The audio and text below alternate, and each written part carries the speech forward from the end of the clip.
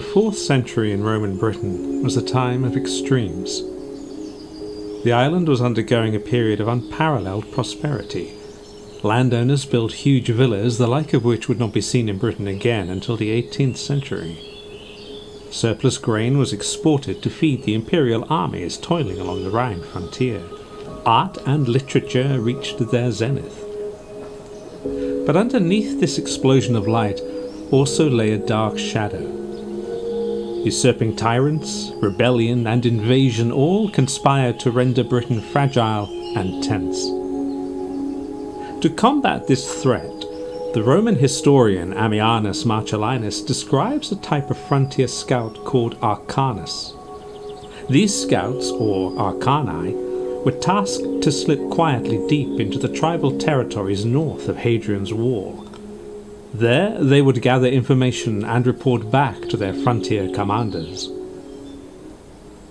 Unlike the usual soldier in late Roman Britain, armoured for frontline fighting, this man carries and uses equipment more suited to long-range scouting work. Here he has shed the heavy armour and weapons for lighter gear, which will allow him to move quietly through the wooded landscape. This Miles Arcanus, or the Secret One, moves alone, using his knowledge of the land and relying on his skills to survive. Here we follow one such figure, Flavius Herennius, detached from his regular unit based at Hadrian's Wall. His task is to surveil one of the major droving tracks used by the native Caledonians to move cattle herds south to the lucrative army garrisons at the wall.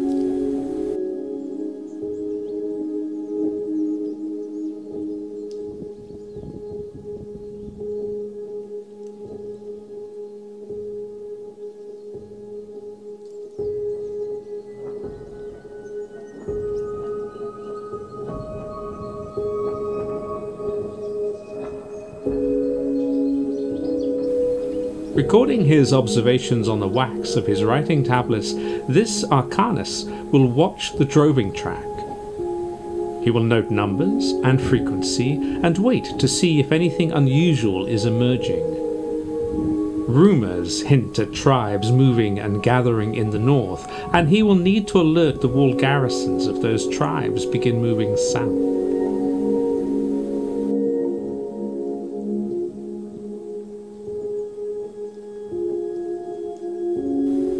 This Arcanus carries a simple ceramic flask for water. The one here is based on a find in a mine in southern Spain. These flasks were sturdy and, unlike their leather counterparts, kept the water cool. To help him survive deep in the woods and remote tracks, this Miles Arcanus carries only basic campcraft and survival equipment. On the right, you can see his wood axe and a combination spoon and fork.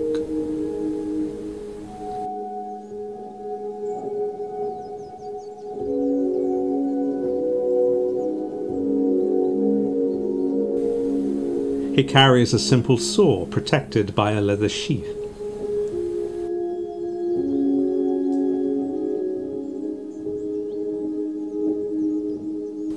A falx or billhook to cut back light bush and clear the campground.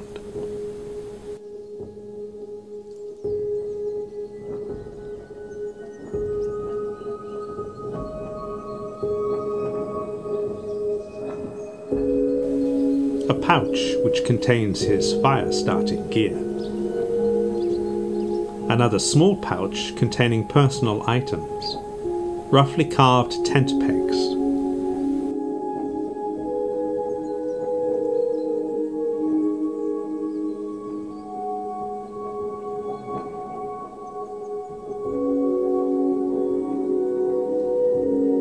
a carving knife.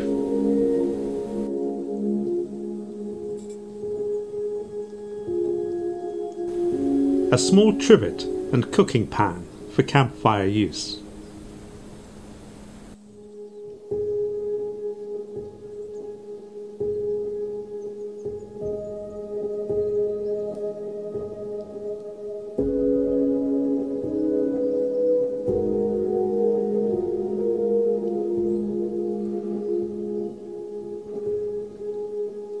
A drinking cup in a typical northern Romano British style.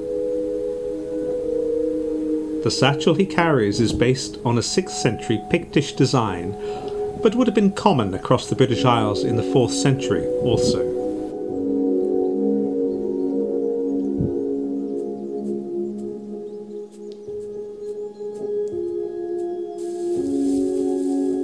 For weapons, this Arcanus carries a short sword known as a semi-spatha. This one is based on an Irish blade and was typical for the natives of that time. He also has a sling at his belt which will allow him to hunt for small game. Also on the belt is a Germanic style fighting knife. Together, this equipment and the few weapons he carries allows him to move quietly and swiftly through the dense northern woods. Our Arcanus has travelled on foot roughly three days north of the wall. He is deep inside the territory of a tribal federation known as the Votadini. These Votadini are allied to Rome and receive regular subsidies in terms of gold, silver, and trading rights. The droving track south from the mountains is the artery which carries the trading goods into Rome cattle, sheep, pelts and furs, and other goods desired by the soldiers and civilians in the north of Roman Britain. The land here is a mixture of dense woodlands, uncultivated marsh, and settlements ringed with farming and grazing land. Here, at the northern edge of the land, controlled by the Votadini, a day's march to the north lie the great mountains of Caledonia and the aggressive tribes of the Picts. It would not take much for a Pictish force to move suddenly southwards into Votadini land and then on to the wall. And while the Votadini are allied to Rome, it is always wise to keep one eye on your enemy and another on your friend.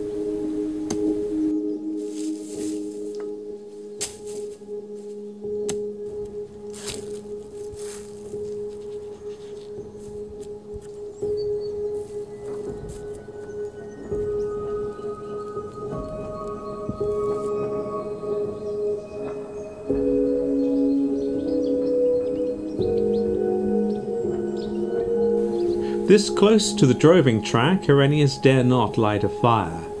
The smoke will all too easily give away his high position over the track. Instead, he will snack on his dried tack or buccellatum biscuit and wait until he is returning and hidden in the deep woods before cooking a hot meal.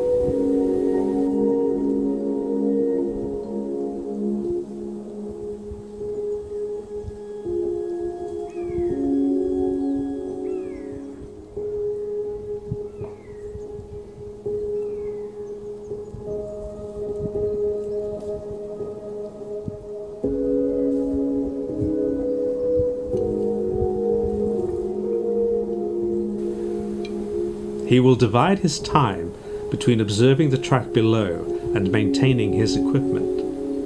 While the role of Emiles Arcanus can be dangerous while alone north of the wall, it also has long moments where solitude and silence are his only companions.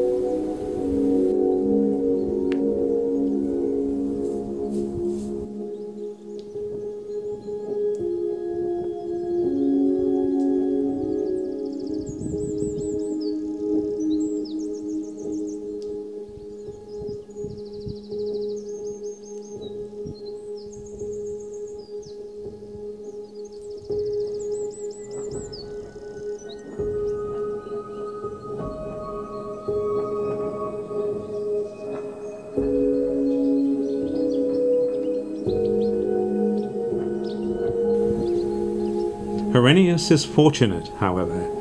He has camped a few nights, observed the great track, and noted nothing untoward. It is high summer. Those moving south towards the wall are herding cattle or sheep. A few carts trundle past, laden with bundles of furs or pelts. He sees small bands of young men whom he will suspect will be eager to join the standards of Rome. Nothing more.